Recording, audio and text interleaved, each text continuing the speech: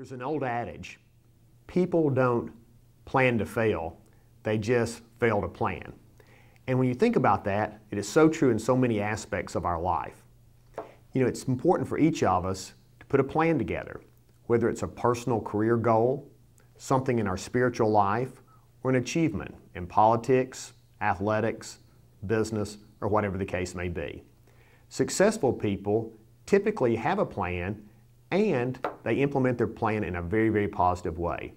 Here's some key factors I think that are instrumental in having a successful plan. First, you've got to use the God given talents that each of us have. Identify what your talents are, then use those to the very best of your ability. Secondly, if your plan is going to be successful, you have to be an optimist, not a pessimist. If you're a pessimist, that's a distraction.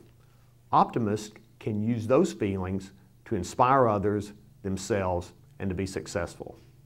And also it's important that when you have your plan in place, that you don't give up, that you don't quit. Life's not one big race. A plan is not one big race.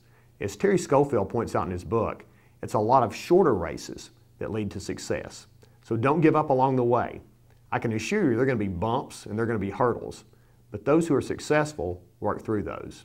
I think Terry's book is a motivational tool to help you achieve success in many phases of your life.